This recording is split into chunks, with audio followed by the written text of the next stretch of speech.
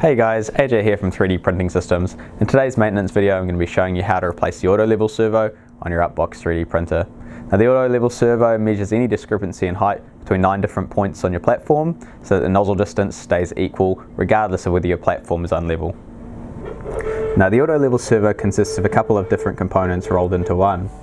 Right, so we've got a micro switch attached to the end of a servo arm connected to the servo motor. We've also got two cables, one running underneath from the servo motor to give it power and then this yellow cable attached to the switch so that we can receive a signal when it does detect those nine points. Underneath it's held in by a mount connected with two screws. So the first thing we need to do is unplug the cables which run to the back of the print head mount. Make sure your printer is powered off. While it's powered off you can move the print head all the way to the front of the printer so we can access the four screws on the back of this cover. To remove the screws you'll need a Phillips head screwdriver. Now as with other repairs, it's easiest if you have one with a magnetic tip. That way when you're pulling any screws out, it'll be a lot easier to hold on to them and it'll be hard to lose them. Also a good idea to have a container to put any screws that do come all the way out into so you can keep track of them. So once you've got the cover off, the two plugs that we need to remove are here, the yellow cable for the sensor, and also here, this cable for the servo motor. Now it's best if you pull on the plugs, the white plug heads, rather than the cables to prevent any damage from the cables or any cables coming loose.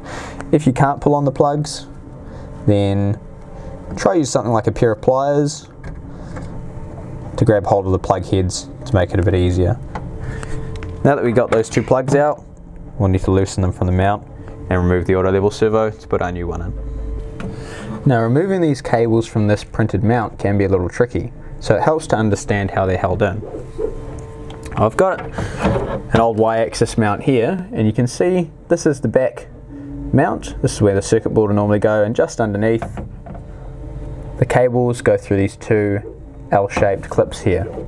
So what we need to do is shift them towards the center of the mount and raise them towards the top so that we can slide the cables out of the small gap in between.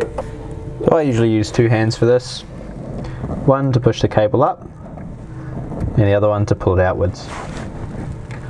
Got one, the other side, and we'll slip it out from behind the belt.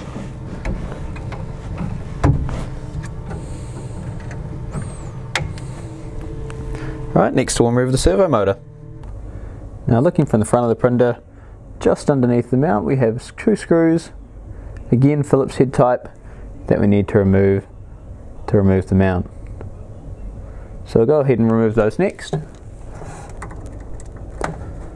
And again, magnetic tip screwdriver comes in quite handy. Make sure you don't lose these screws. As the second one comes out, just grab the mount at the same time, prevent it from dropping away. When you install your new mount, make sure you have it sitting on the, have the servo motor sitting on the correct side. So the servo motor should be on the left side of the print head. Now I usually put one screw through the hole in the mount and then sit it behind and locate the correct screw hole. Insert one in. Again, these, these screws only need to be finger tight. You don't need to do them up too tight, but tight enough so that the mount is secure and that's to prevent any movement of the servo motor during auto level which could give a false reading. So just making sure those are done up finger tight. That's perfect. First we'll wire in the power cable for the servo. So slip it in behind the belt that's closest to the front of the printer. It sits up there against the mount, stays out of the way. It's going to prevent any rubbing during print while the print head is moving and could damage the cable. Next, pop it up into that L-shaped clipped clip just underneath. There we go. And then we can plug plug just into the end of the, uh, the socket there. To install the yellow sensor cable, you'll first need to remove it from your old servo arm, or if you've been provided with a new cable, then you can install the new one. Shift the servo arm down so that you can have easier access to plug the cable in slot the cable plug into the servo arm and then tuck the cable just behind the front belt, the belt closest to the front of the printer, like with the other cable. And then pop this behind so you can put it into the mount with a clip holder. Once you've clipped your yellow servo cable or sensor cable into the clip underneath, you can plug it into the circuit board at the back.